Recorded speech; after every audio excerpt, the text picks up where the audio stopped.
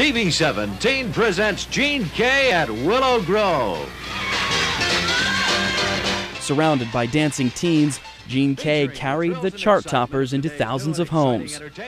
Now let's go to Willow Grove Park, where life is a lark, with your host, Gene Kaye.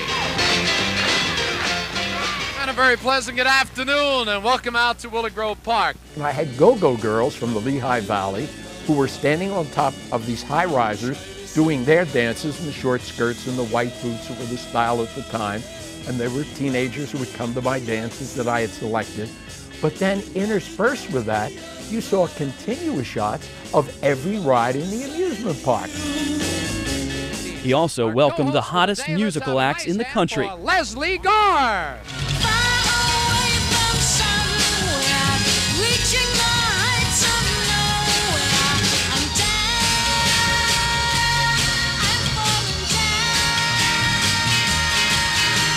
Gene says his popular dance show worked well.